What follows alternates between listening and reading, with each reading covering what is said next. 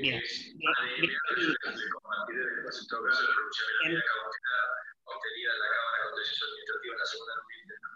En esta segunda eh, charla del ciclo Tópicos Candentes de la Tributación Argentina, eh, les pido por favor que eh, pongan en mute los, todos los micrófonos. Lo que hay en Córdoba es una excepción colectiva del artículo 115 del Código de Tributario de Córdoba para las empresas radicadas en Córdoba y obviamente no tienen esa exención en industrias industriales, por ejemplo, las empresas extraterritoriales. El caso de la en particular tiene otra dinámica. Bien. Ok.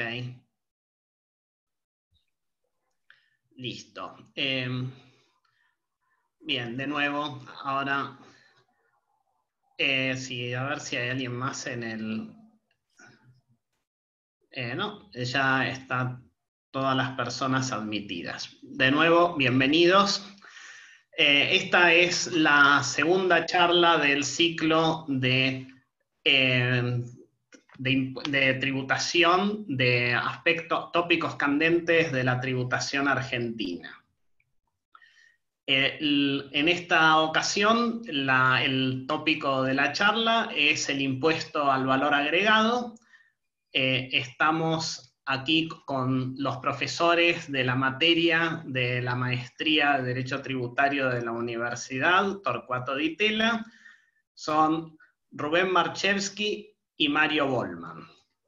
El profesor Rubén Marchevsky es un gran especialista en el, impuesto al valor agregado, eh, además es el autor de un libro muy interesante y muy útil, ah, desearía haberlo tenido cuando era estudiante, pero en esa época todavía no había sido escrito, eh, y además es el presidente del Tribunal Fiscal de la Nación, por lo tanto lo que él diga tiene eh, casi un peso jurisdiccional.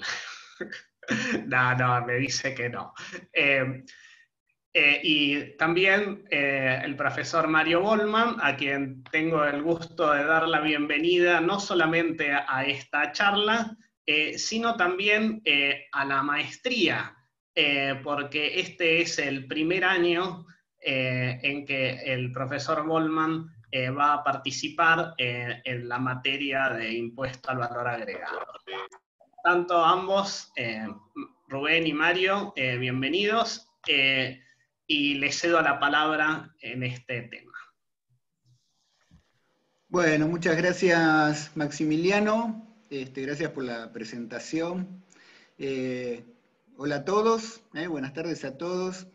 la verdad que estaba pensando no sé quién le puso el, título de tópicos candentes, eh, pero si hay algo que tiene la tributación argentina es que es candente, digamos, ¿no? Algo sometido a calor intenso permanentemente, y creo que tiene mucho que ver con, que, bueno, que en definitiva los impuestos son una herramienta de política fiscal, y esta política fiscal ha tenido y quizás lo siga teniendo muchos giros y contragiros en función de las políticas económicas y esto, bueno, lo hace siempre candente, lo hace muy dinámico y yo creo que acá debe haber el mismo trabajo que hacían con KPMG, que están asistiendo el el año pasado, que básicamente es una revisión de contratistas, o no sé si de más que de contratistas, de factureros, entiendo yo, y la determinación de las contingencias y todo.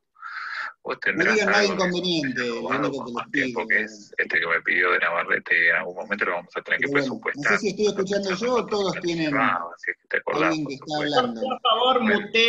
Eso solo. Te mando un beso grande, espero que esté bien y no te pregunté cómo estaba. Ahí estamos, ahí estamos.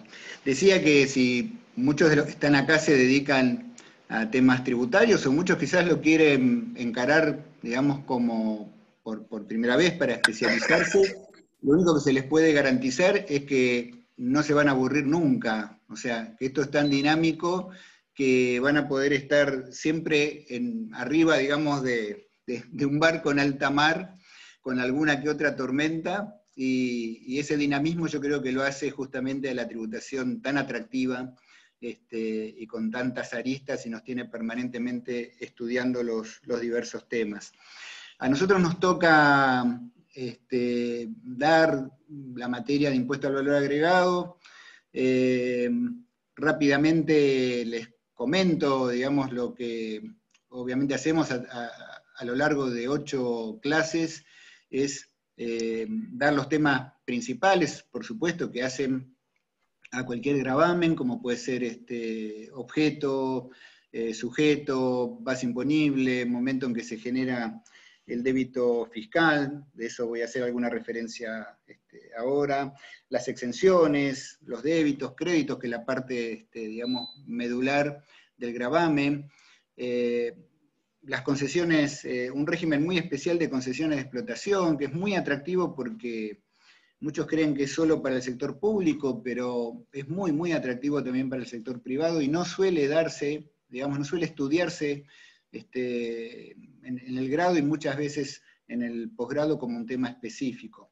Y, en general todo lo desarrollamos y tiene que ver un poco con esto de lo candente, eh, a través de, la jurisprudencia, de, los antecedentes, digamos, dictámenes administrativos, jurisprudencia, porque creemos que una vez, digamos, de, presentar el tema de manera técnica, la mejor manera de entender y profundizar es a través de la casuística, y la casuística está justamente en la, en, la controversia.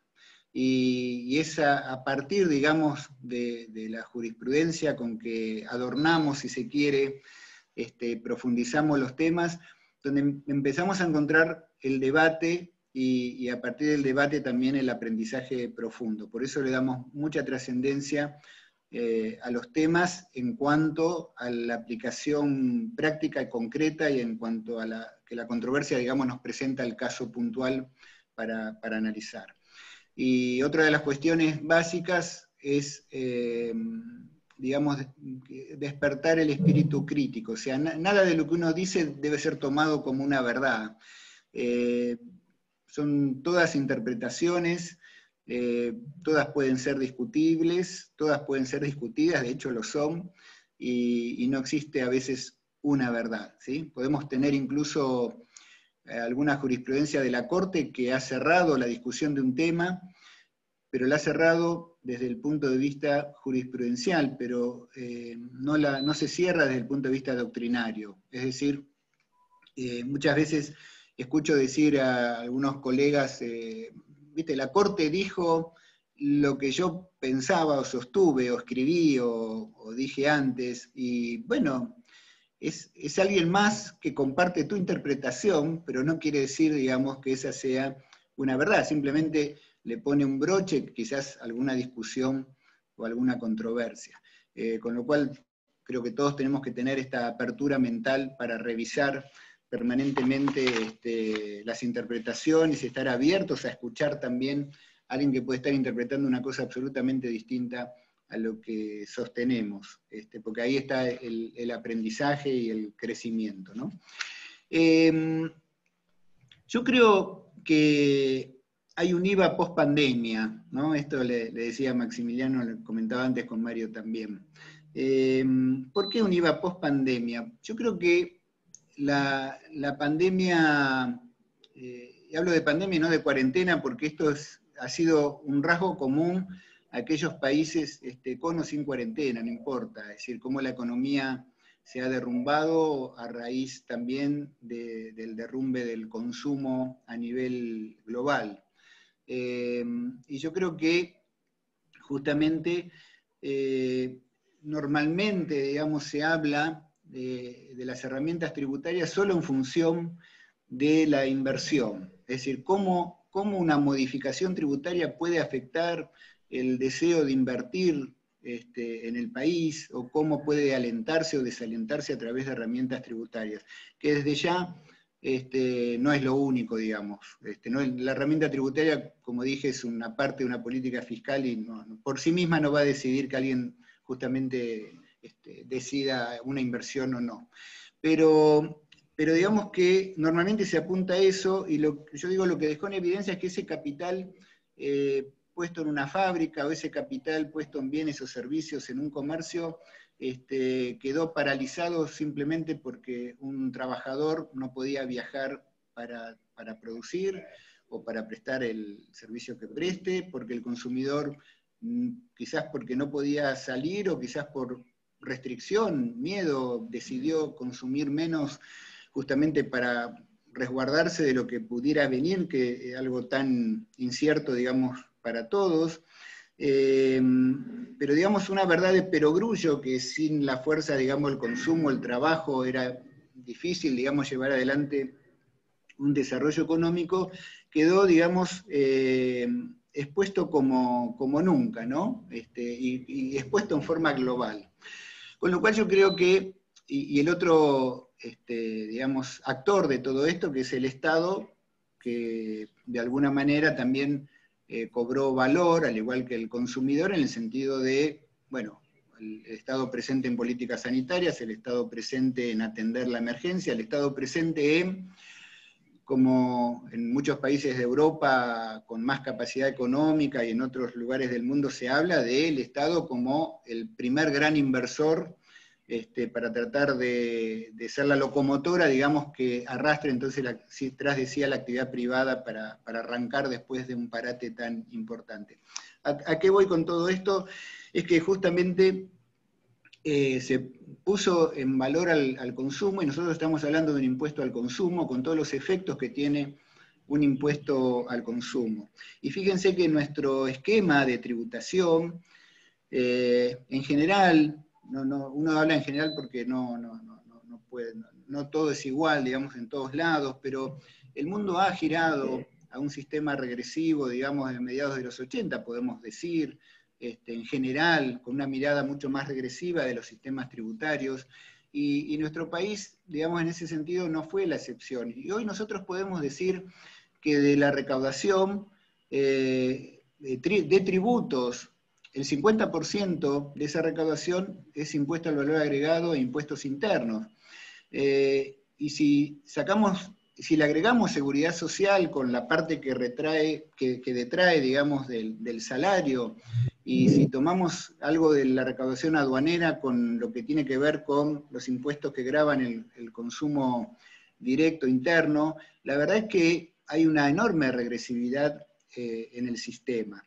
Y esto, digo, eh, está, afecta directamente el consumo en momentos en que el consumo ha sido reconocido como el motor de la economía, más en una economía como la Argentina que es absolutamente procíclica, y esto lo vemos justamente en la recaudación, ¿no?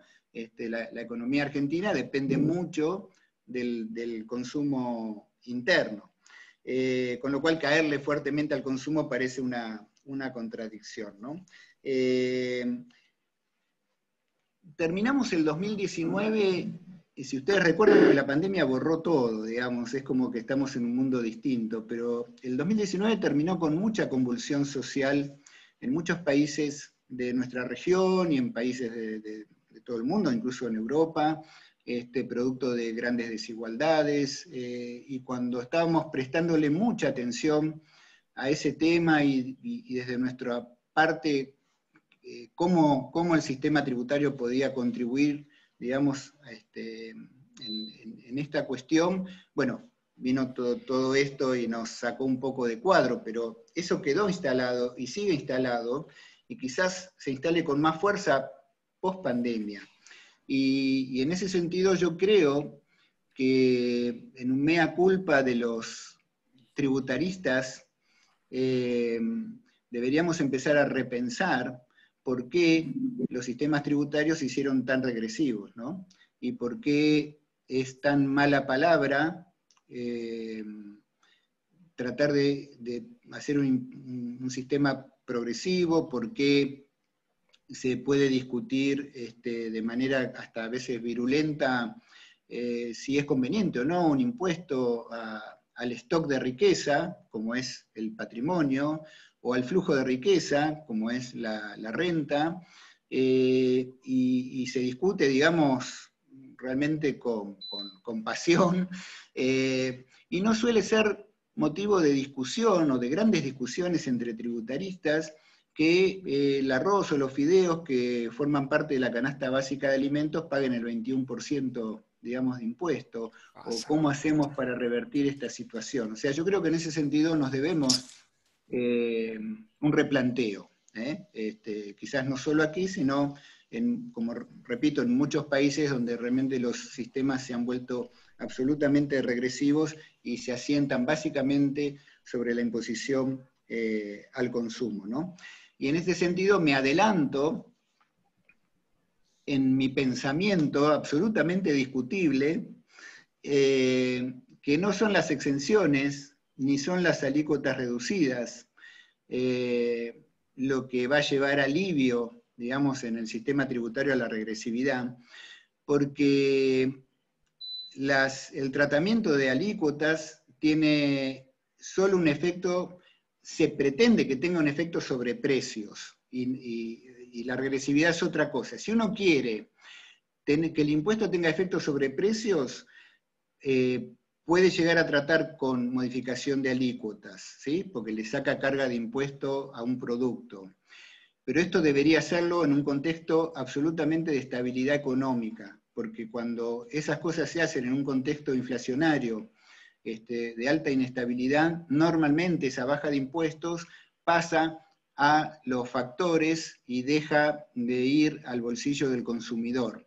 Esto claramente se vio cuando se, fuimos a una alícuota cero sobre fines del año pasado, mediados del año pasado, o el último trimestre si quieren, que el costo fiscal de 12 mil millones, que era más o menos el costo fiscal de alícuota cero con algunos productos, en un contexto de alta inestabilidad y de inflación, esos 12 mil millones no fueron al bolsillo de los consumidores, claramente porque los precios de todos esos productos, lejos de bajar, este, subieron por ahí producto incluso de la, de, la espiral inflacionaria de ese momento que también tuvo que ver con una devaluación. Es decir, en un, momento de economía caliente, una baja de impuestos a los consumos normalmente queda en este, los factores formadores de precios y no se transforman en un beneficio. No hubo 12 mil millones eh, más en los bolsillos de consumidores para salir a comprar más, sino que hubo 12 mil millones este, de toma de utilidad, digamos, o de ganancia en los factores. De hecho, eh, si uno va a los precios de la época y a la evolución, va a ver que la yerba mate, el aceite y muchos otros productos crecieron por debajo de lo que fue la devaluación, quizás compensó la baja de alícuota, pero subieron este, fuertes porcentajes. Es decir, eh, estas cosas hay que verlas con cuidado, porque no necesariamente la baja de alícuota va en beneficio del consumidor, porque los precios los establece en este sentido el mercado. Y si queremos ir a la regresividad, tenemos que ir a la persona, no al producto. O sea, si yo quiero atacar la regresividad, no voy al paquete de fideos, porque el paquete de fideos lo compran todos los deciles de ingresos, desde el más bajo hasta el más alto, a lo sumo variarán en la marca, pero todos comen fideos. Es un producto, digamos, o cualquier pasta, digamos, de un producto de consumo general. Si yo quiero eso, no, voy al paquete de fideos a bajarle la alícuota o este, a, ponerle una alícuota inferior, diferencial o a eximirlo, sino que voy a la persona. Y le digo a la persona, cuando vos compres fideos, a vos no te voy a cobrar el impuesto, se lo voy a, cobrar al otro. Y como el que vende fideos no le puede estar preguntando a cada uno, contame tu familia cómo se forma, cuánto ganás por mes, este, para saber si, te puedo beneficiar o no con esto, todo ese esquema se hace vía devolución. Entonces, como hoy en día eso se puede hacer porque los sistemas este, lo permiten, la tecnología lo permite, y no solo en nuestro país, sino en muchísimos países hay este, millones de personas empadronadas, si se permite el término, que se saben a qué sectores sociales pertenecen, se les puede devolver digamos, esa porción. Y ustedes fíjense que se sigue hablando, nosotros damos un impuesto al valor agregado que tiene mala prensa, porque todos dicen es el impuesto malo, es el impuesto regresivo. Bueno, ojo, es regresivo porque el mundo ha decidido que sea regresivo. Hoy, hace 20 años no, hace 20 años era regresivo y no había muchas posibilidades de otra cosa. Pero hoy que el impuesto al consumo sea regresivo es una decisión de los gobiernos, de los estados, es una decisión política. Si hoy se quiere hacer un impuesto indirecto al consumo y progresivo se puede hacer, porque yo puedo ir a devolver a los sectores que quiero devolver el gravamen y solo dejar la recaudación de los que quiero. ¿sí? Entonces, yo creo que esta cuestión la instala la pandemia, la instala la crisis de consumo, y yo creo que es un buen momento, este, no sé si en esta reforma que viene, que creo que se va a discutir allá por el mes próximo, creo, este, puede haber herramientas de este estilo, o si no, por lo menos que forme parte de nuestra discusión, o sea, que, no abandonemos la discusión, digamos, cuando se habla de, impuestos de este tipo de cosas.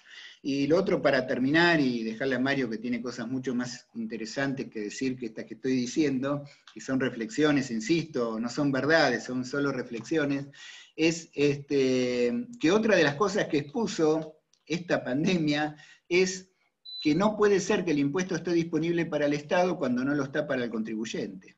Esto, este criterio, digamos, del percibido, de, decir en, el IVA, digamos, hay muchas situaciones en las cuales la cuestión se define por lo jurídico y no por lo económico. Fíjense ustedes que estamos siempre hablando de hechos económicos sujetos a tributación, pero resulta que el momento de ingresar el impuesto se define por el hecho jurídico, que es un contrato firmado o una factura emitida una mercadería entregada.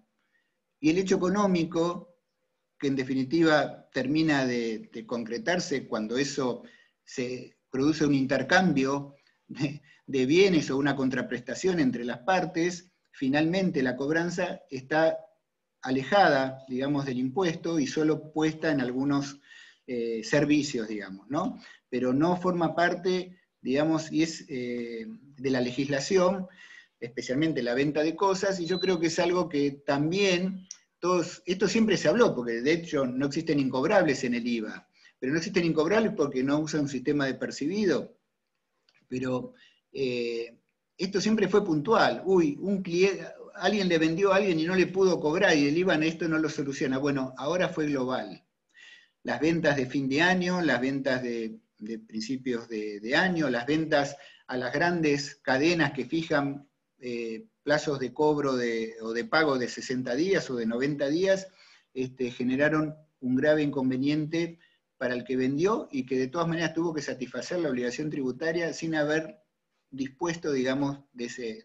También creo que, que, la pandemia deja esto, o sea, creo que deja dos grandes temas para discutir este, a partir de que esperemos todo esto que pase, pase pronto. ¿no?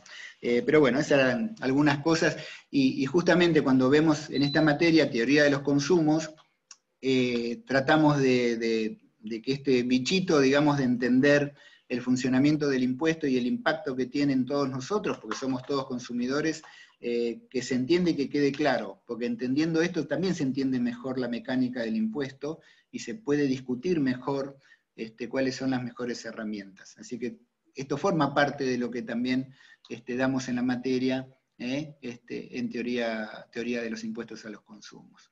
Bueno, hasta acá llegué, llegué yo. ¿eh? Este, los abrumé con todo esto. Maxi.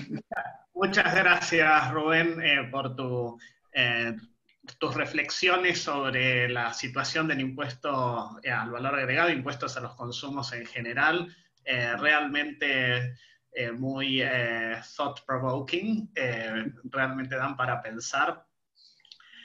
bueno, imagino que habrá preguntas, pero primero le damos la palabra a Mario Bolman eh, para que exponga su parte y después las preguntas eh, para ambos eh, al final. Muchas gracias. Mario. Bien, gracias Maximiliano por tu presentación. Gracias Rubén por este, integrarme al módulo de IVA de la universidad. Gracias Eduardo como organizador del posgrado. Buenas tardes para todos. Este, complementando lo que, eh, lo que decía Rubén, eh, cómo salimos de la pospandemia o cómo vamos a entrar a la postpandemia era el tema que elegimos para debatir en la tarde de hoy. ¿Cómo termina la Argentina y seguramente muchos otros países en la misma medida? La base monetaria eh, es muy amplia, nos augura una importante inflación de aquí en más. Vamos a ver con, de qué manera el Estado va a restringir parte de esa base monetaria para no generar este, una inflación muy importante en el segundo semestre de este año y primer trimestre del año que viene. El empobrecimiento de la población está consagrado, ya está establecido, ya es una variable que conocemos.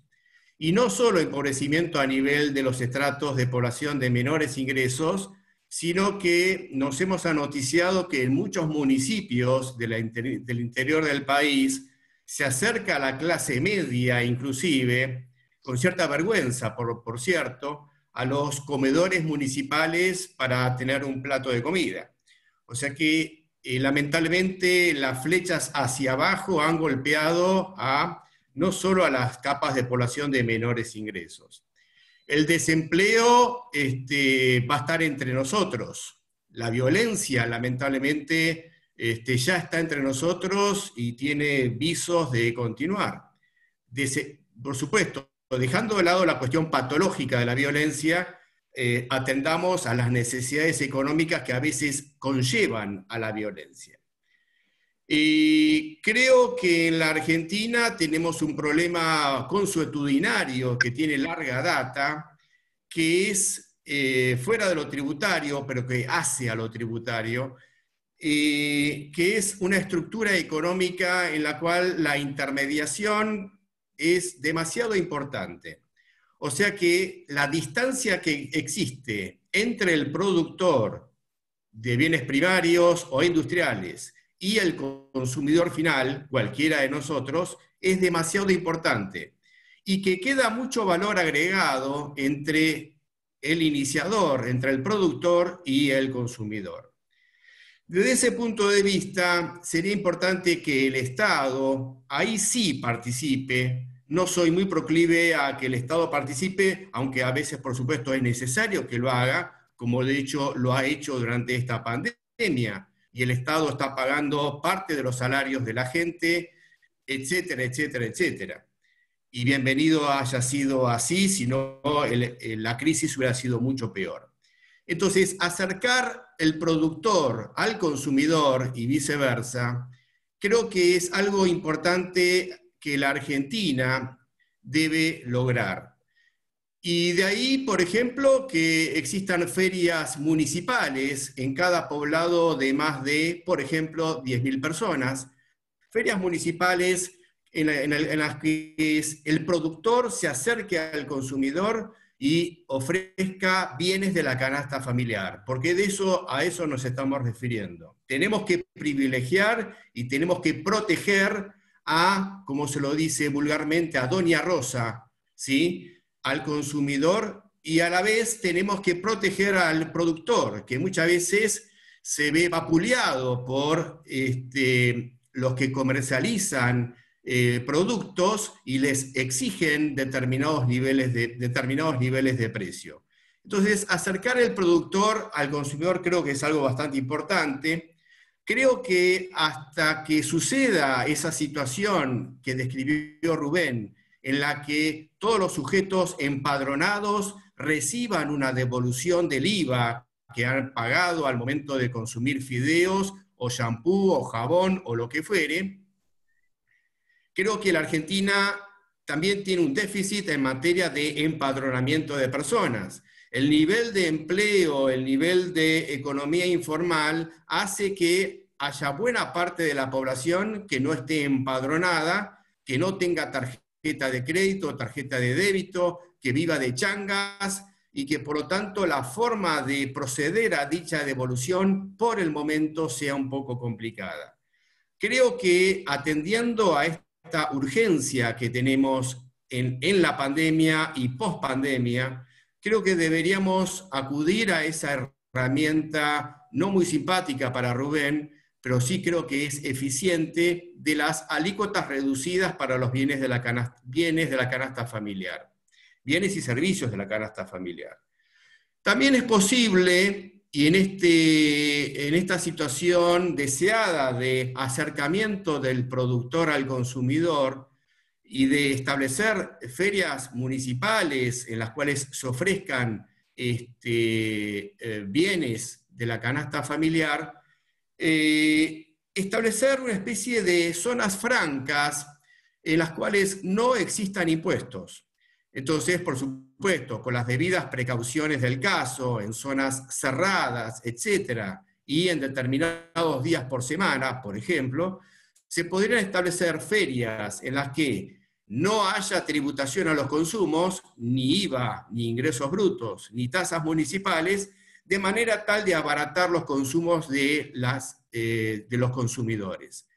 Por supuesto que a esas ferias van a, ir, van a, ir, a comprar no solo los estratos de menores ingresos, clases medias o bajas, sino que también las de alta, altos ingresos, pero eso por el momento creo que no nos debe interesar en demasía.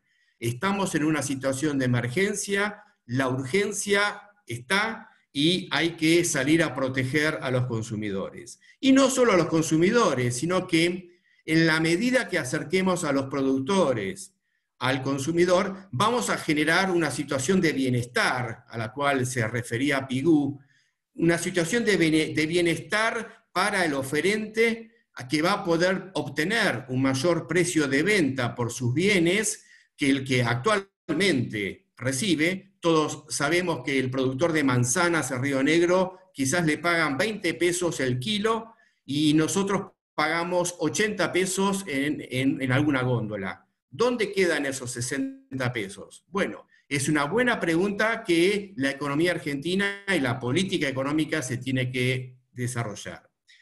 Por lo tanto, si ese productor tiene la forma de llegar al consumidor y vender el producto en 40 pesos en vez de 20, va a haber una situación de bienestar para el oferente. Y si el consumidor, en vez de pagar 80 pesos por ese kilo de manzanas, va a pagar 40, vamos a generar una situación de bienestar para el consumidor.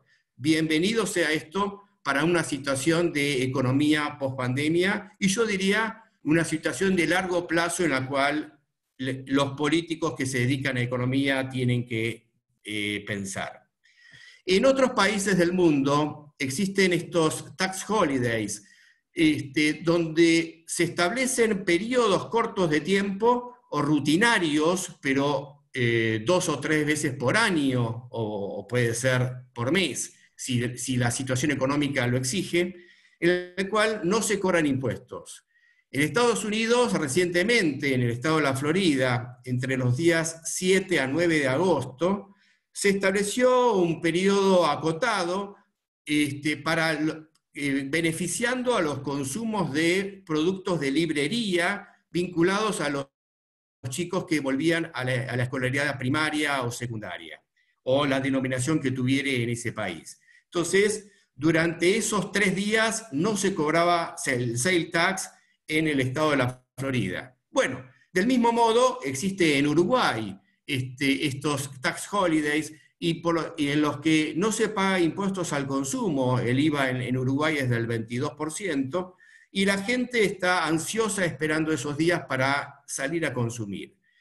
Entonces, en Argentina, post pandemia, tenemos que eh, privilegiar el consumo, tenemos que ayudar al consumo, tenemos que ayudar a los consumidores y de esa forma motorizar la economía en su conjunto.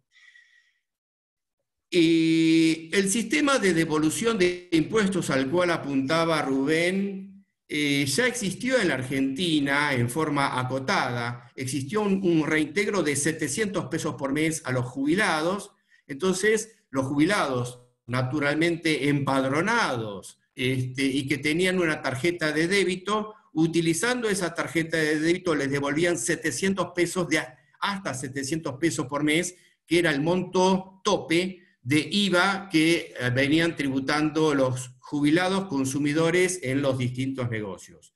Por supuesto, el jubilado estaba forzado a usar la tarjeta de débito, si no, no tenía derecho a ese reintegro. Por supuesto que hay jubilados que no, estaban acostumbrados a usar ese medio de pago y por lo tanto no se hacían de ese reintegro que, que había establecido el Estado. Eso fue derogado, lamentablemente. Así como fue derogado, yo creo que lamentablemente, la devolución del IVA para aquellos que usaban tarjetas de débito o de crédito y que ayudaban además a blanquear, a blanquear la economía en su conjunto. Bien, eh, con respecto a temas técnicos, este, charlábamos con Rubén de dos puntos en especial, y hablando de exenciones y de exenciones intermedias en el IVA, que es lo que no se debe hacer en, el, en el impuesto al valor agregado, repito, establecer una exención intermedia.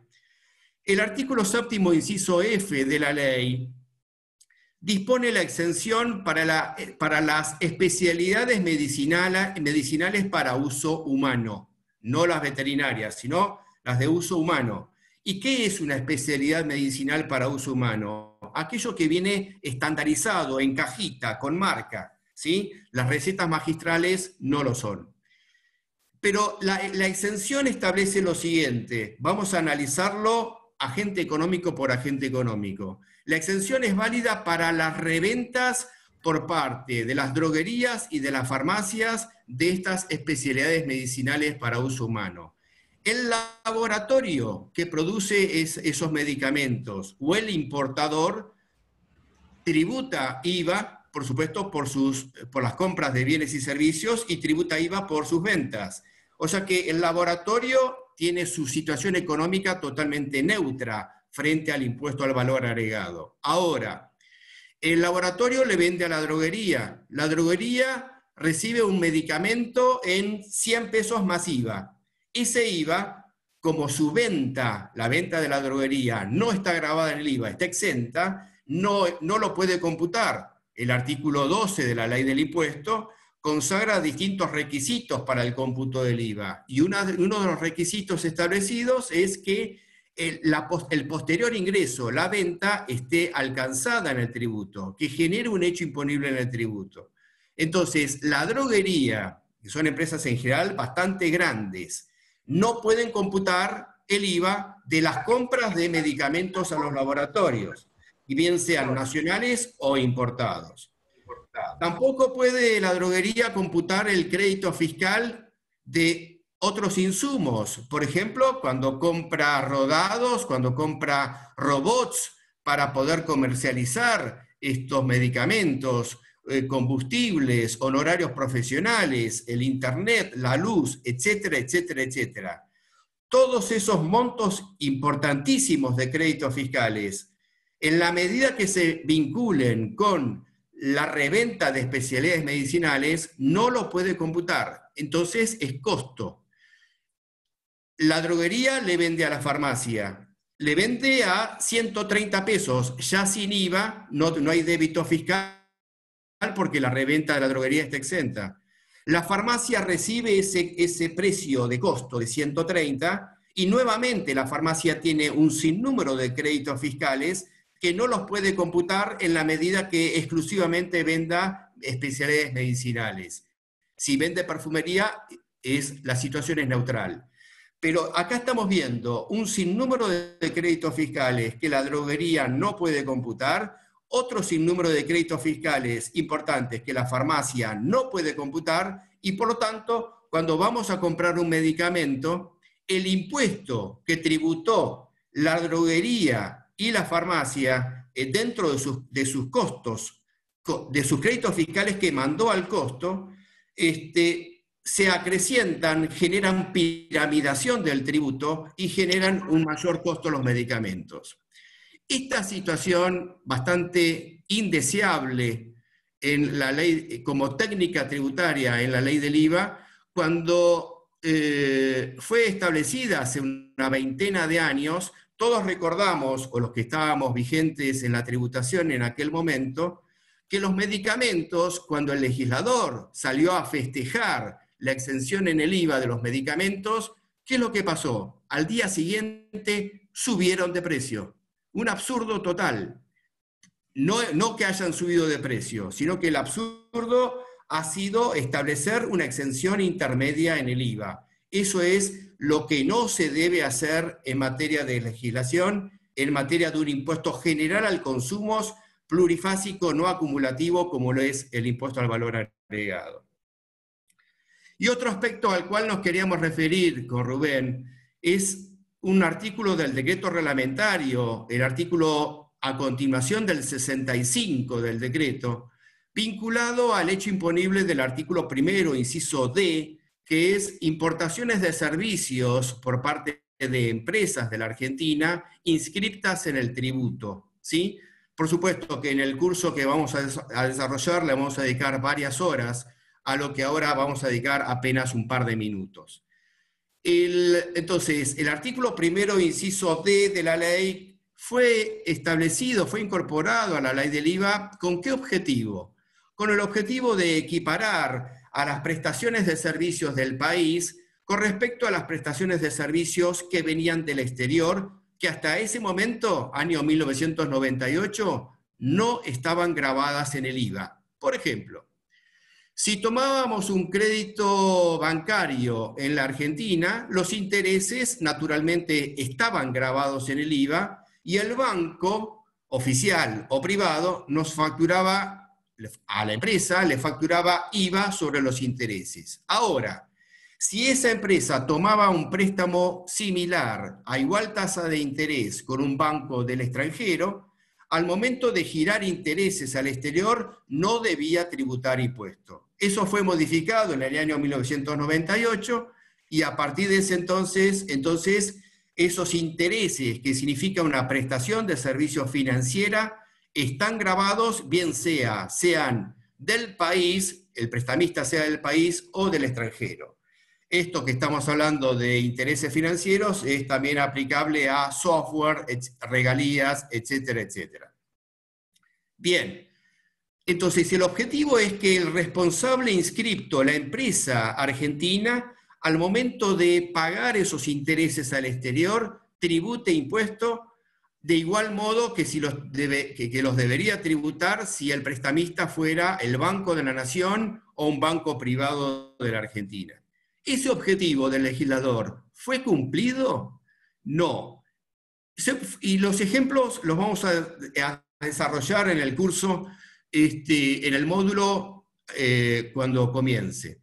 Pero hoy queremos señalar que este artículo 65.1 del decreto reglamentario plantea una situación injusta, porque la norma reglamentaria dispone que en la medida que se vinculen esos, eh, ese impuesto, vuelvo al tema de los intereses grabados que se le pagan a un banco del exterior, en la medida que se vinculen con ingresos no grabados o exentos, esa proporción no debe generar impuesto al momento de girarse esos intereses al exterior. Entonces, si giramos al exterior 100 mil dólares y la tasa aplicable fuera el 21%, deberíamos, al momento de girar esos intereses, tributar 21 mil dólares de tributo. Por supuesto, computar crédito fiscal en igual medida. Pero la norma reglamentaria dispone que si el contribuyente tiene un 80% de ingresos no grabados o exentos, solamente va a tributar por el 20% de esos 21 mil dólares de impuesto. O sea, va a tributar únicamente sobre 4.200. Ahora, si el prestamista fuera del país, ¿puede hacer lo mismo? No el Banco de la Nación o el banco privado le va a facturar los 21 mil dólares de crédito fiscal y como se vincula con operaciones no grabadas o exentas en un 80%, va a tener que costear, va, va a perder el 80% de ese IVA que le facturó el banco. Pero si el banco fuera del exterior, la norma reglamentaria, en forma injusta, y que esto creo que debería tener algún tipo de modificación, dispone que el contribuyente no tiene por qué ingresar ese 80% de esos 21 mil dólares de crédito fiscal. O sea, va a pagar únicamente 4.200 dólares y, y además los va a computar como crédito fiscal. O sea que no tiene perjuicio económico alguno y lo beneficia en, tomar ese préstamo con el exterior y no con el país.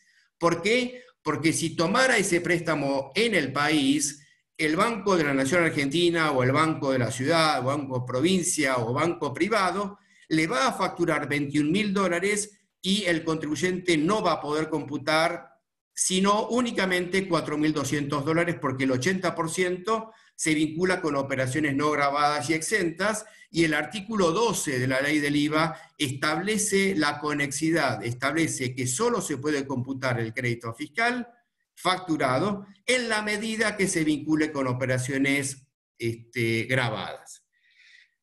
Bien, eh, creo que con esto este, termino mis palabras, este, agradeciendo una vez más la invitación y bueno, esto fue un adelanto de lo que habríamos de desarrollar y mucho más en las clases del módulo. Gracias. Muchísimas gracias, eh, Mario, por tu exposición tan clara y también sobre los temas eh, muy interesantes que, tocaste, eh, incluso contraintuitivos para aquellos que no conocen bien la mecánica del IVA, como la importancia de no conceder exenciones en las etapas intermedias. Eh, bueno, vamos a pasar eh, a las preguntas. Eh, si alguien tiene preguntas, por favor que las mande por el chat. aquí, bueno, ya. Luciano pregunta para vos, Mario. ¿Cuál, sería la solución para la situación que planteó respecto de las droguerías y farmacias? Eh, y él dice que podría ser eximir toda la cadena de comercialización de modo de no acumular crédito fiscal como costo y que ello se traslade al precio, pero aclara que eso traería grandes consecuencias en materia de recaudación, eh, por lo que eso quizás no pase. Eh, y también pregunta, la misma pregunta de cómo se, cuál sería la solución se la hace a Rubén Marchevsky. Bueno, eh, si me permitís, Rubén, eh, no estoy a favor de establecer una exención para toda la cadena. ¿Por qué? Porque cada agente económico, y no vinculado estrictamente a lo que hemos conversado eh, o analizado especialidades medicinales, que sería el producto exento, resulta que cada agente económico incurre en un sinnúmero de créditos fiscales que si el producto que vende está exento, no va a poder computar. Entonces genera costeo de esos créditos fiscales que a la vez se va piramidando. ¿Por qué? Porque el crédito fiscal que paga el laboratorio y que no puede computar, forma parte de sus costos, le incorpora utilidad o valor agregado, determina su precio de venta a la droguería y así sucesivamente. Entonces, cuando nosotros consumidores vamos a comprar una caja de aspirinas o de otro producto, vamos a estar pagando un monto de IVA costeado tanto por el laboratorio, por la, por la droguería y por la farmacia. Entonces, me parece mucho más prudente establecer una alícuota reducida, que puede ser del 10,5% o menor, hay que analizar sector por sector, qué es lo que conviene, a los efectos de reducir el precio. Y vuelvo al comentario que desarrollé en la exposición, en la reducida exposición. Cuando se establece una exención, intermedia en especial, que es lo peor que se puede hacer, o una exención en general, los precios no tienden a bajar, sino a subir. Y el aspecto económico, dejando de lado algún agente económico que se pueda hacer el vivo e incrementar los precios, este, el, aspecto jurídico tributario es que la empresa, laboratorio, droguería o farmacia deja de poder computar el crédito fiscal y tiene que mandarlo a pérdidas o a costo del producto que está vendiendo. Rubén. Sí, es, eh, la verdad que es interesante y para hablar mucho los efectos que hay en la cadena con exenciones o alícuotas reducidas, porque realmente este, no es lo que se supone que es o, los efectos que trae. El, problema de eximir una cadena, sea, sea de medicamentos o cualquiera, pueden imaginarse, no sé, si el pan uno dice, bueno, que esté exento y eximo la cadena, ya el productor de trigo no sabe si ese trigo se va a usar para el pan exento o para hacer una torta de cumpleaños que por ahí está grabada. O sea, no se puede eximir este, la cadena sin generar, digamos, un grave ruido en todo esto. Entonces, eh, la harina misma. La harina puede tener varios destinos, el producto exento o productos grabados, con lo cual eximir una cadena es realmente muy complejo y normalmente las veces que ha habido exenciones, este, o muchas veces que ha habido exenciones, como se habló últimamente del tema de la leche, es porque la misma cadena productiva pide este, que se elimine una exención para poder eh, los eh, sacar el crédito de costo y pasarlo como crédito fiscal sin aumentar los precios. Es decir, eh, es, un, opera, digamos, el impuesto cuando no se puede computar, opera como un costo, como dice Mario, este, acumula, piramida normalmente, y esto trae una grave distorsión en los precios. Cuando se quiere limpiar, si, uno quisiera limpiar el, el, producto medicinal o lo que sea, limpiarlo de impuestos, lo que se hace lo que debería hacerse es la devolución.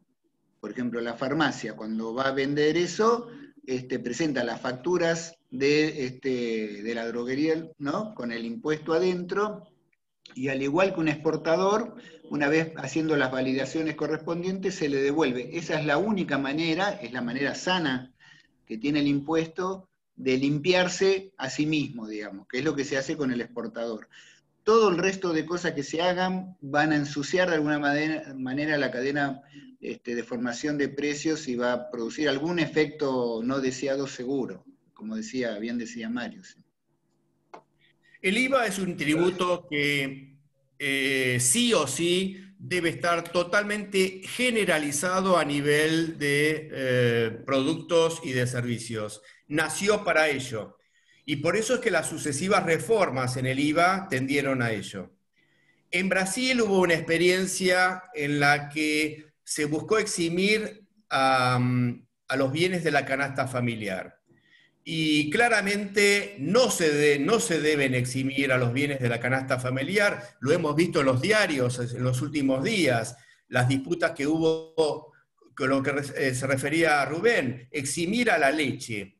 Eh, la leche está exenta, pero en la última etapa nada más, lo cual tampoco es bueno. Hay que buscar otro sistema, hay que buscar o el sistema de devolución, que es muy complejo y que también genera mucho costo administrativo para el fisco, y por lo tanto ese costo administrativo, ¿quién lo paga? Nosotros, todos, la sociedad. No es bueno. O buscar un sistema de alícuotas reducidas, de manera tal de que nada quede fuera de la órbita del tributo, pero tratando de optimizar los precios y teniendo dentro del precio del consumidor el menor ingrediente de impuesto al valor agregado. Quiero agregar nada más que, no sé, hoy la verdad que los está un poco distorsionados los números y por ahí algo, pero más o menos en exenciones y alícuotas reducidas tenemos unos 300 mil millones de, costo anual. Eh, y ese es un número grande y que no tiene que ver necesariamente con sectores, digamos, eh, más vulnerables, sino que tiene que ver con el universo. Y es un monto de dinero que si se destinara a la devolución directa, alcanzaría y sobraría, digamos, grandemente para eso. Y perdón, una cosa, Mario, te quería, de algo que dijiste antes. Eh, solo el 5% de los jubilados utiliza la tarjeta para, para consumo. Porque el jubilado, cuando nosotros lleguemos este, a la jubilación, quizás usemos tarjeta porque nos hemos acostumbrado, pero yo a mi madre nunca la pude acostumbrar a que use la tarjeta porque el jubilado tiene la costumbre de cobrar y separar para el destino, digamos, que le va a dar a cada cosa, y el, solo el 5% de los jubilados estadísticamente ha usado la tarjeta, por eso el tema del reintegro a jubilados, pidiéndole, digamos, que utilicen la tarjeta para mejorar la fiscalización y administración del impuesto, es un fracaso rotundo porque no, no la está utilizando. Este, eso quizás con el tiempo se puede hacer, pero hoy este, parece tarea imposible.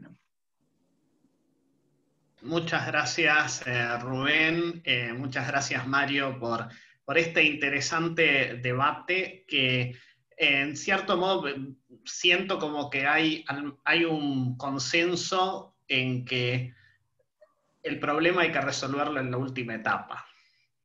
Eh, no sé si, están de acuerdo con eso, sea por una devolución, sea por una alícuota reducida, pero el problema está en la última etapa. Eh, bueno, aquí tenemos el honor de tener entre el auditorio al director académico de la maestría, a Eduardo Baistrocchi, que tiene unas preguntas. Adelante, Eduardo. Muchas gracias, Maximiliano. Que, querría... La pregunta. No, no, no, no. Este, profesores Marcheski y Boldman, muchísimas gracias por esta maravillosa presentación tan, tan iluminadora. Eh, yo tengo la siguiente pregunta. Me da la impresión que, que los sistemas tributarios del planeta, no solamente el de Argentina, se encuentran frente a una tormenta perfecta. Eh, uno podría decir que, que, el objetivo de cualquier sistema tributario es triple, algo así como las tres R's. Uno es recaudar, primera R. Lo segundo es regular el comportamiento, por ejemplo, desalentar el fumar cigarrillos. Y el tercer objetivo de cualquier sistema tributario es el de redistribución de la riqueza dentro de, una sociedad. Ahora, lo, que veo en Argentina y en todos los países que conozco es lo que tanto el profesor Goldman y Marchesky dijeron hoy respecto del propio sistema del sistema tributario de Argentina, que es eh, su creciente regresividad. Es algo que, creo que es un fenómeno mundial eh, por, por varias razones. La primera diría que es la creciente competencia entre países por capitales. Entonces los, países se ven obligados a, a grabar especialmente las bases imponibles relativamente inmóviles, por ejemplo, el trabajo del empleado, este, y no el de firmas multinacionales, porque las firmas multinacionales pueden moverse de un país a otro.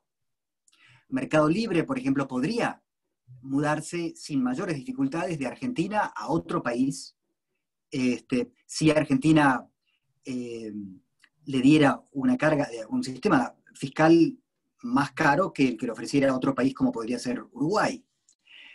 Eh, el segundo, me parece, elemento shock externo es eh, esta cuarta revolución industrial en la que estamos, este, caracterizados por algo que, dijo el profesor Bodman de creciente automatización, que probablemente en el, mediano plazo, en el corto plazo, genere un creciente nivel de desocupación.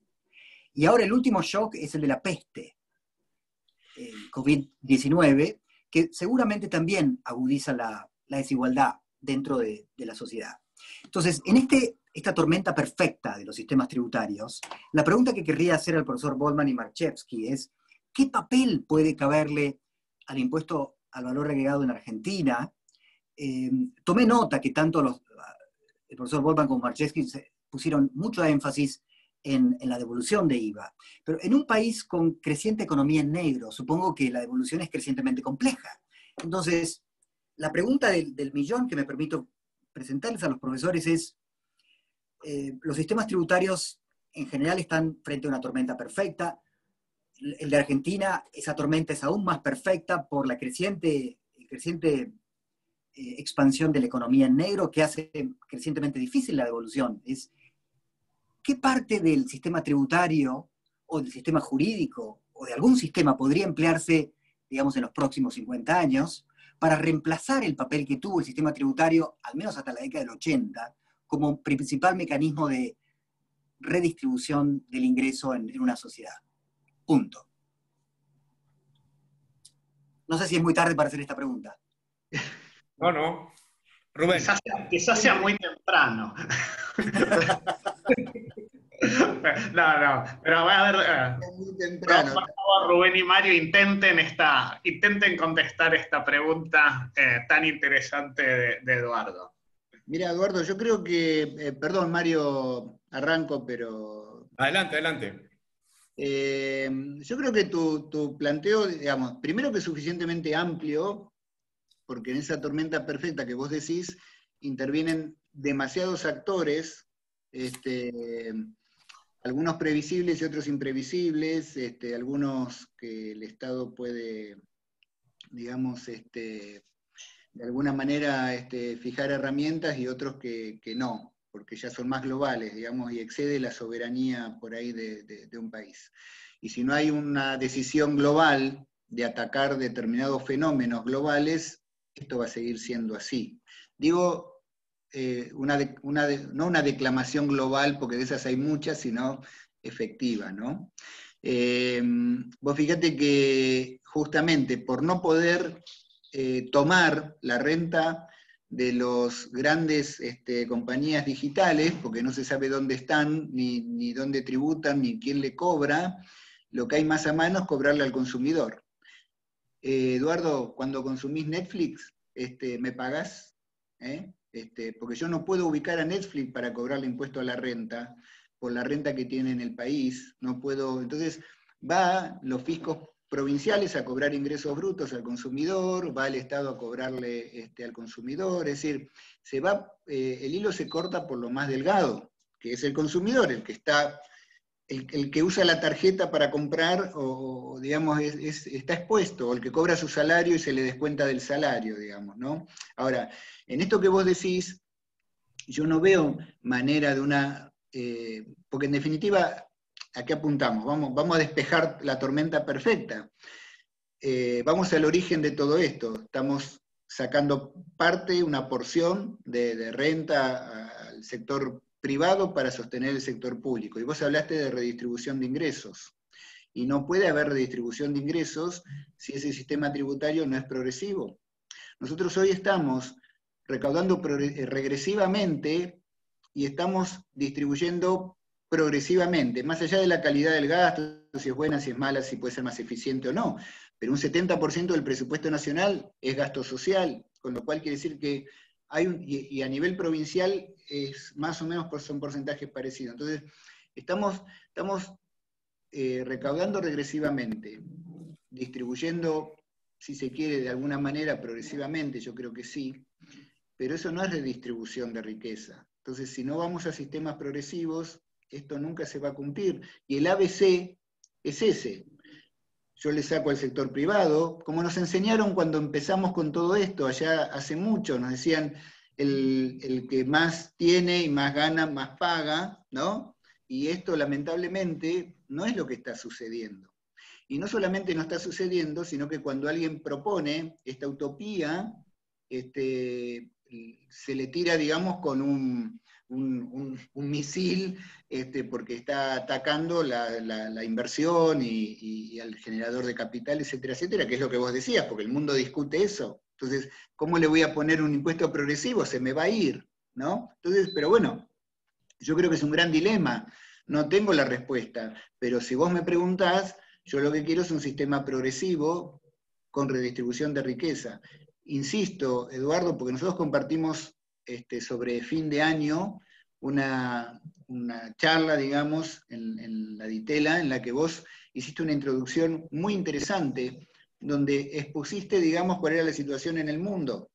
Y vos expusiste muy bien la convulsión social por la desigualdad, que era el gran tema de finales del 2019.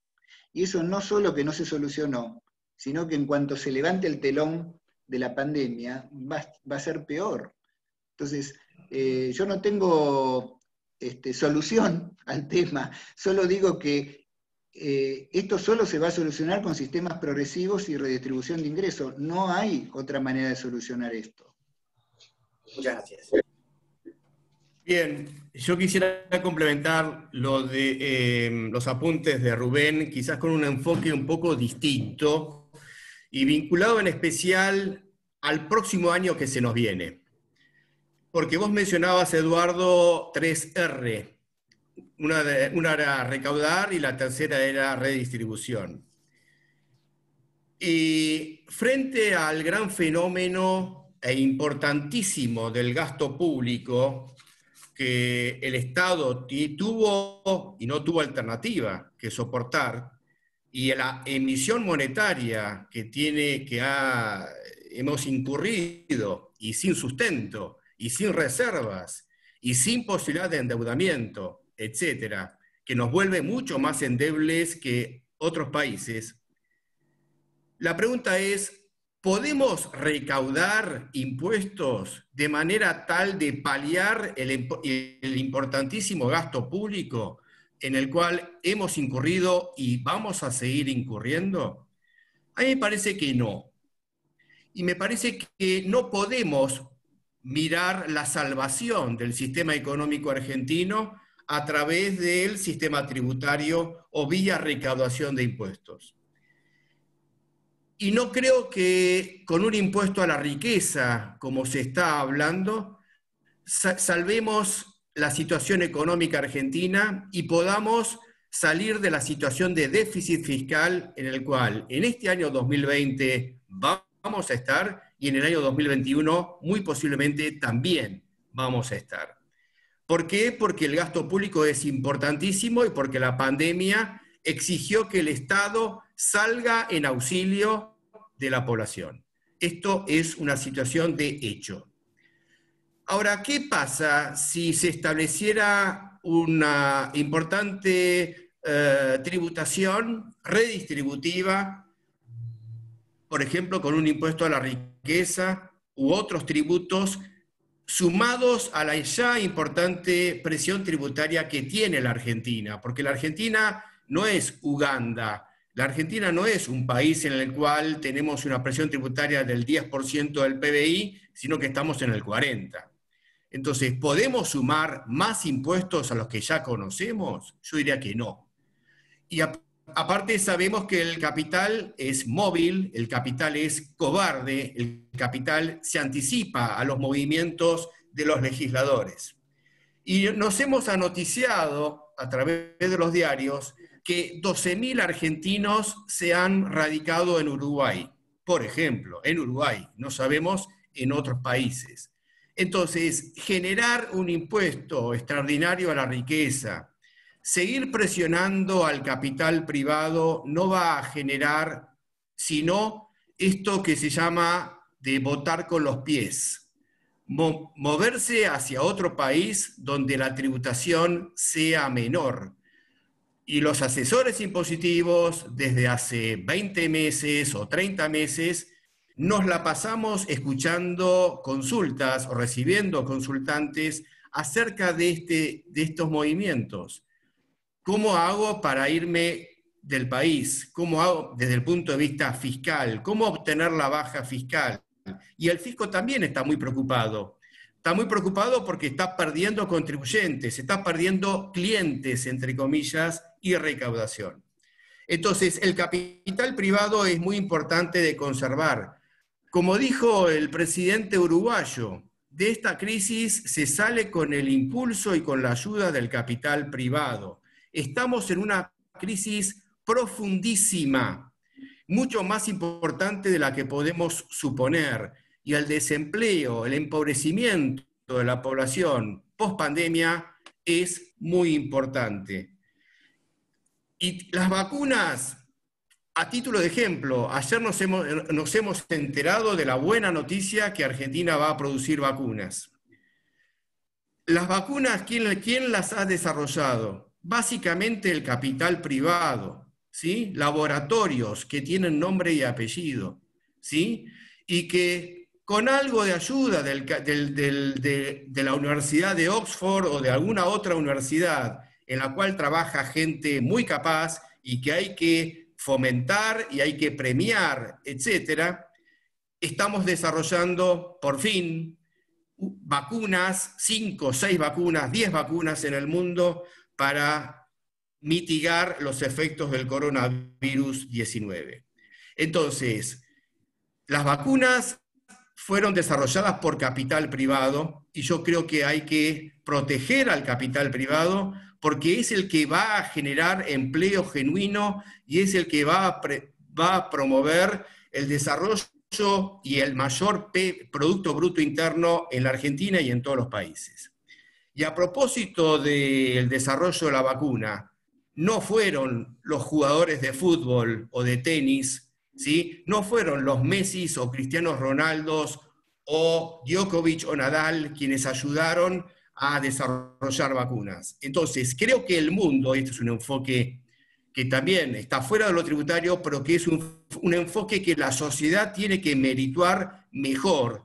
Habría que premiar más a los favaloros que a los grandes jugadores de fútbol o de tenis o de lo que fuere. Gracias. Eduardo, perdón, Eduardo, vos, fíjate en qué lío nos metiste con tu pregunta. Pero yo quiero decir algo, este, Mario, más allá de que en, algunas cosas que decís no, no, no, concuerdo, pero bueno, eso es normal, digamos, y, así debe ser.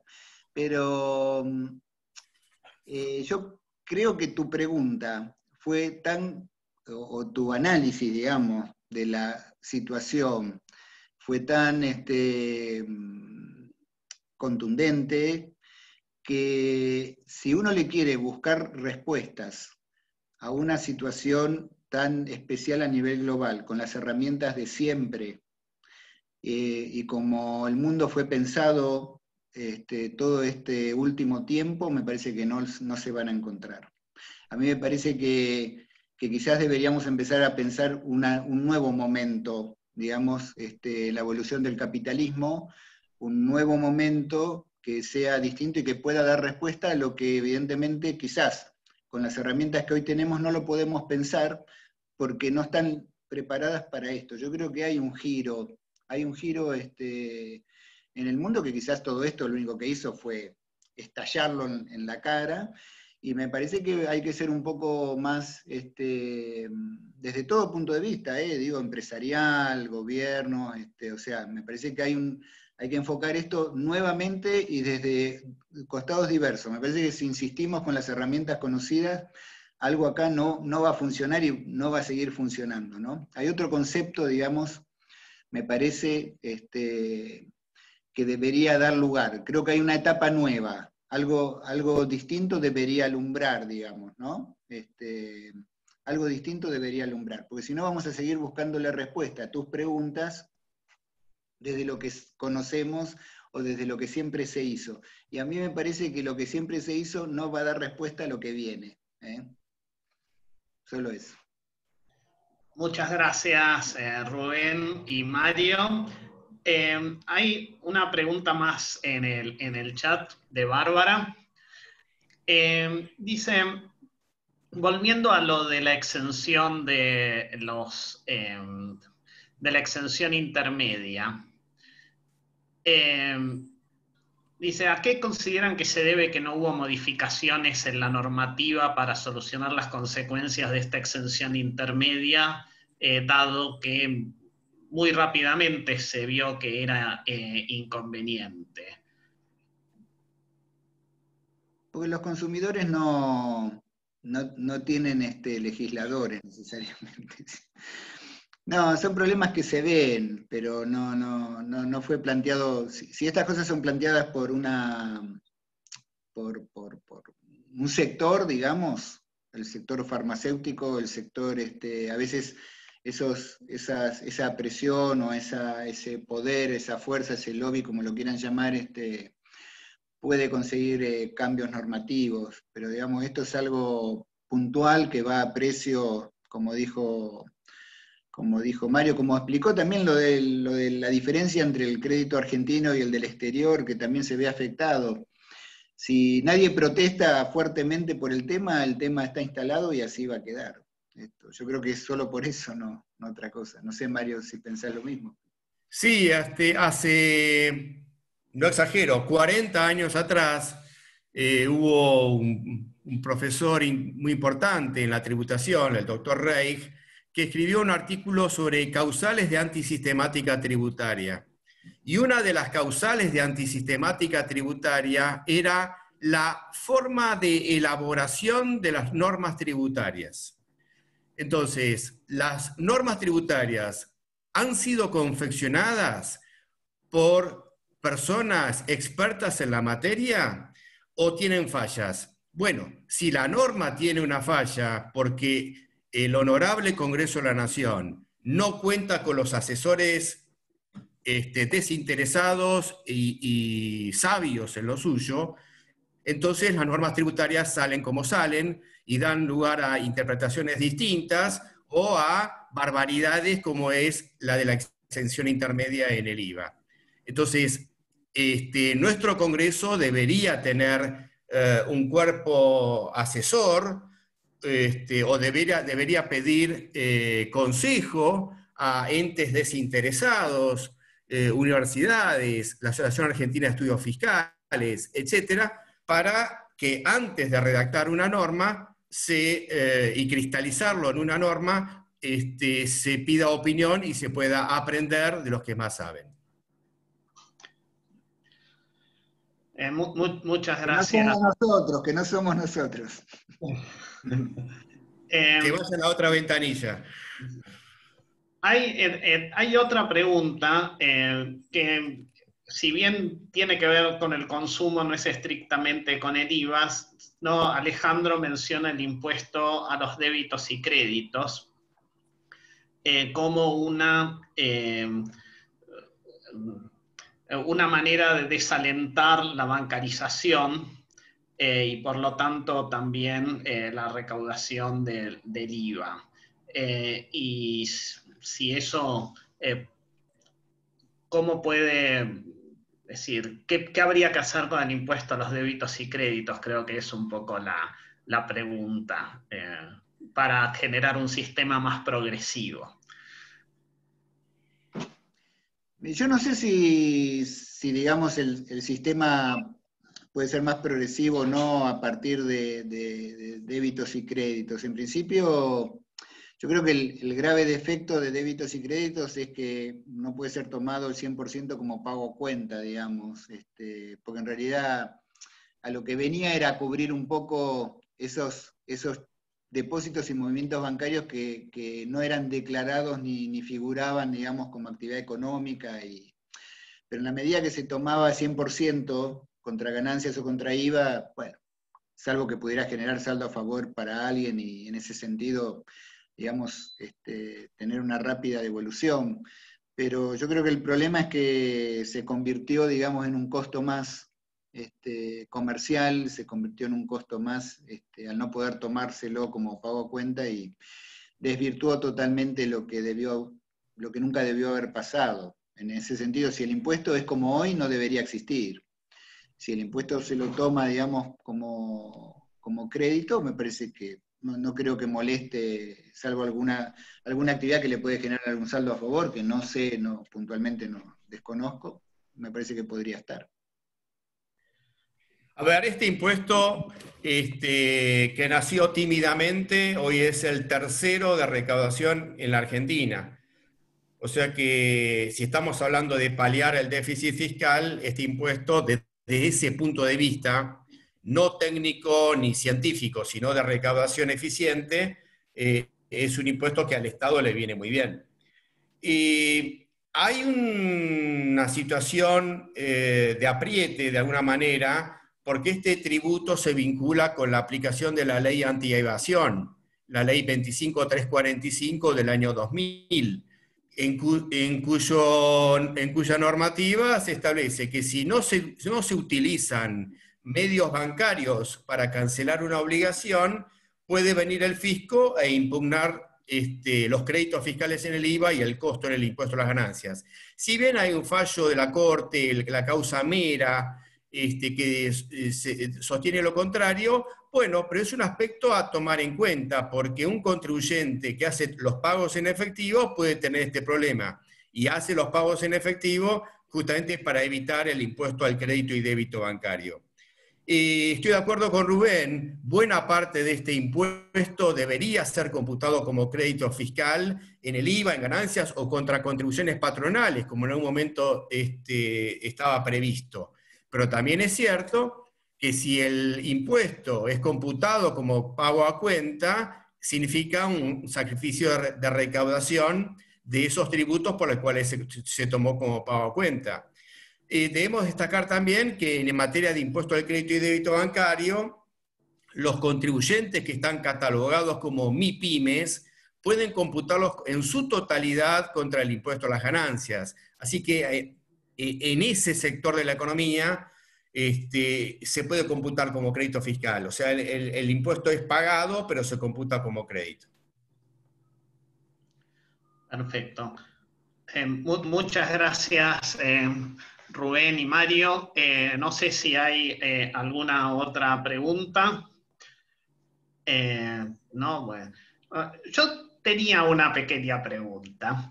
Eh, Rubén, eh, dijiste algo que me, evocó una clase con el profesor Chip Case hace muchos años, en que él mencionó la posibilidad de que los impuestos al consumo fueran progresivos.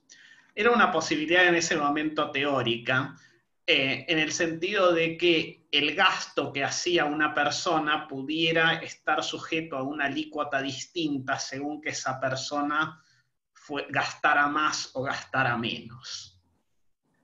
Eh, bueno, eso en esa época era más una especulación teórica, pero ahora con la bancarización y el mejoramiento de las herramientas informáticas, eh, no sé si podría llegar a hacerse algo práctico. Y si así fuera, eh, ¿qué les parece? siempre, recuerdo progresivas al gasto, ¿no? Sí, sí, siempre recuerdo que la, cuando, nos enseñaban esto nos referenciaban una experiencia de 1950 y pico en Ceilán que, había sido un desastre. y, ahí quedaba toda la teoría, digamos, del impuesto directo al gasto moría ahí. O sea, a partir de ahí, lo único que quedaba era esto que, se podía hacer, ¿no? Por eso de alguna manera, mi rebeldía contra, contra la forma, porque creo que después nunca más evolucionó. O sea, es, como que se quedó en el tiempo y nunca nadie, digamos, este, quiso encararlo. Cada tanto vuelve, porque yo hace algunos años he leído este, alguien que impulsaba un impuesto directo al gasto otra vez como una alternativa. Cuando se plantea esto, se lo plantea como alternativa a ganancias, incluso. O sea, uno u otro. En el sentido de que si fuera un impuesto directo al gasto, cada uno de nosotros este, debería hacer una declaración jurada anual, para no hacerlo bimestral o trimestral, para no, cargar las tintas, eh, donde uno podría decir, bueno, eh, empecé el año con 10 mil pesos este, y, gané 100 mil y terminé, el año sin plata, quiere decir que me gasté 110 mil. O sea, por, por diferencia, digamos, de stock de, efectivo me gasté tanto. Y después un mínimo no imponible, y si se quiere que no tributen la compra de bienes de capital para incentivar que una familia por ahí compre heladera o sus cosas o un auto, entonces eso se deja descontar también este, y, más carga de familia y qué sé yo, y alícuotas progresivas, en definitiva, un impuesto este, a las ganancias, ¿no? Persona humana progresivo. ¿Se puede hacer? Sí, se puede hacer, obviamente se puede hacer eh, asumiendo esto, incluso que todo lo que alguien ganó durante el año o cobró de salario, lo que sea, lo, gastó, a menos que me demuestre que en el banco tiene depositada una parte de eso. Eh, eh, yo creo que al contrario, hoy las cosas yo creo que evolucionaron para incluso hacerlo más fácil este, que eso, digamos, porque hoy se puede hablar, más allá de todas las dificultades como Mario dijo y que es cierto, pero bueno, nada, tenemos que plantearnos un norte y, ver cómo podemos solucionarlo, pero hoy se puede tener un impuesto indirecto que tiene una ventaja enorme, porque no tenés 40 millones de contribuyentes, sino que tenés un número menor, que son los que venden, los que prestan servicios, eh, podés tener un impuesto indirecto al consumo, pero progresivo en la medida que lo puedas personalizar, y lo personalizás justamente por aquellos individuos que tenés individualizados este, justamente por ser aquellos que le querés devolver. O sea, vos cuando vendés no sabés, vuelvo a lo mismo, el panadero no te puede preguntar, dame tu recibo de sueldo a ver si a vos no te cobro, a ver, o te aplico qué alícuota. Este, pero eso sí se puede hacer, digamos, desde, desde otro lugar.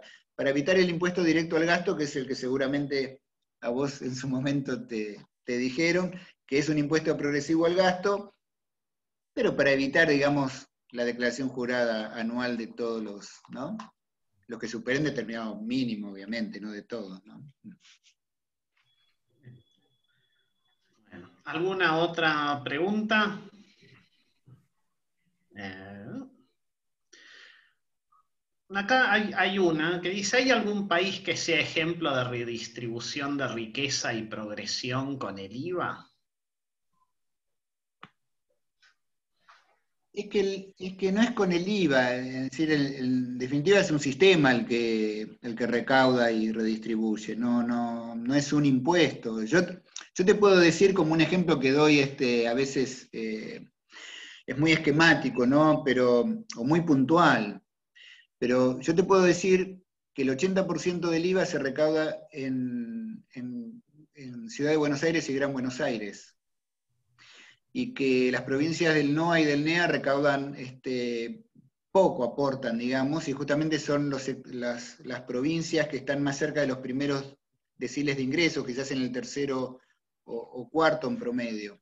Eh, y por lo tanto tienen un alto consumo en alimentos y bebidas a diferencia de otros. Y, y esa recaudación de Ciudad de Buenos Aires y Provincia de Buenos Aires se redistribuye geográficamente porque por la coparticipación a esas provincias o a los habitantes de esa provincia de cada tres o cuatro pesos que pagan de impuesto al consumo, esas provincias reciben de 16, que a su vez después lo distribuyen progresivamente, o sea, pero es una, cuenta muy global, pero no se puede pensar en un solo impuesto cómo se redistribuye. Eh, este es un ejemplo, por ejemplo, ¿no? Hay una redistribución geográfica porque tanto hay sectores vulnerables en la ciudad que pagan impuestos como en esas provincias. No es que va del que más tiene al que menos tiene, pero sí hay una redistribución geográfica muy importante en el IVA desde Ciudad de Buenos Aires y Provincia de Buenos Aires hacia las provincias del NOA y del NEA. Eso, eso sí es cierto. Pero la redistribución hay que verla global, no, no, no impuesto por impuestos. Eh, yo quisiera agregar lo siguiente. Este, desde Adam Smith en adelante eh, sabemos que hay tres manifestaciones de capacidad contributiva. Renta, patrimonio y consumo. Y estamos analizando la tercera pata, la del consumo. El consumo, los impuestos al consumo ven eh, en general mejor logrado su objetivo cuanto más incidan sobre las capas de menores ingresos de la población. Esto que suena muy poco simpático es así, es una realidad. Entonces, para, para lograr progresividad tenemos las otras dos manifestaciones de capacidad contributiva, la renta y el patrimonio. Cuando estemos hablando de impuestos al consumo, naturalmente vamos a estar hablando de dotar de regresividad al sistema tributario que se puede acotar por el mecanismo que comentaba Rubén, la devolución del IVA a las capas de menores ingresos, en tanto en cuanto estén empadronadas, y entonces devolverle el impuesto a los consumos a esas capas de, eh, más eh, que están en problemas y eh, entonces lograr la progresividad porque va a incidir sobre las capas medias y altas de la población. Entonces tenemos, tendríamos impuesto a la renta con progresividad, impuesto al patrimonio con progresividad y un impuesto al consumo que va a ser menos regresivo. Entonces, el conjunto de las tres manifestaciones daría un poco más de progresividad al sistema tributario. Pero repito, cuando estamos hablando de impuestos al consumo, necesariamente estamos hablando de impuestos regresivos. Eh, no comparto necesariamente. Necesariamente no, es una decisión política que sean así. Puede, es más, un impuesto directo al gasto es progresivo, o sea que estamos decidiendo que sea indirecto y regresivo, es una decisión, siempre es una decisión, ¿sí? Este, se le puede dar, lo que pasa es que también, Mario, no te olvides que estamos recaudando regresivamente, si decimos que más del 50% de los tributos justamente descansan de manera regresiva. Este, el problema del sistema argentino es que es cero progresivo, ese es el problema. No solo nuestro, eh, en general, digo, en general.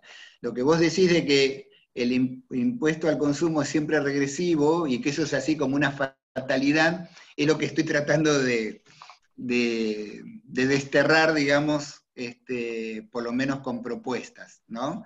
Eh, pero lo que vos decís es cierto, es una realidad hoy. Hoy no podemos decir otra cosa que lo que vos decís.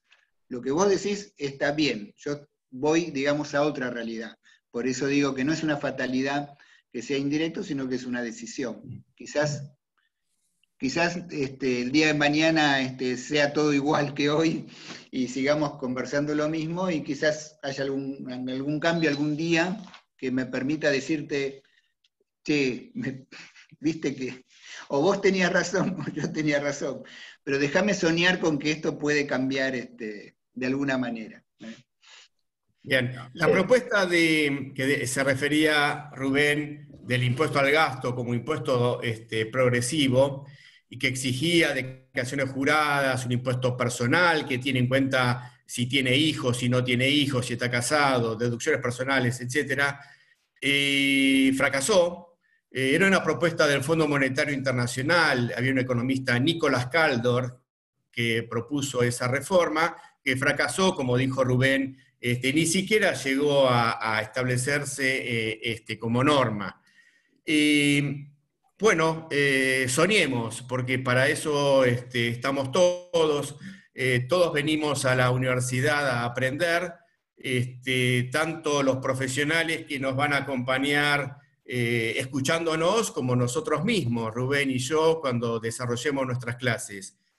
Y ojalá podamos soñar y mejorar el sistema tributario.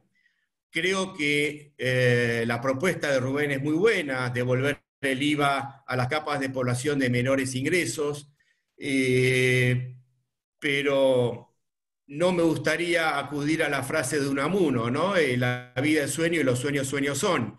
Pero sigamos soñando porque de esa manera vamos a seguir elaborando propuestas pero creo que en la, urgencia inmediata, en el año que se viene, eh, sería importante reducir al menos eh, la alícuota del IVA a los bienes de la canasta familiar, no generando piramidación, no costeando créditos fiscales, buscar un equilibrio y bajar los precios de esos bienes para las capas que lo consumen en general, que son las de menores ingresos.